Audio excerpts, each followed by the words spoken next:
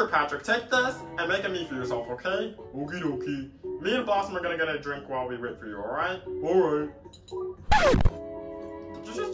Whatever, man. Come on, Blossom, let's leave him alone. Okay, thank God.